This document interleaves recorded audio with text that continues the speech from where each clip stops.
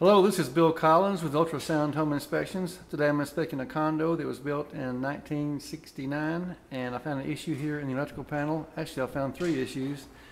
Uh, these top breakers here are 220 breakers. You have one here, a 220 breaker here, and one here. The range, the dryer, and the air conditioner.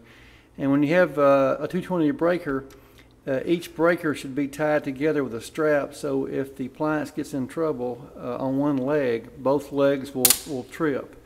As you can see now, one leg can be tripped by itself, leaving uh, the appliance uh, still with voltage. So these breakers need to be tied together to operate in a safe condition. Uh, this should be corrected by a qualified professional, and this is why it's so important to get a home inspection on a piece of property.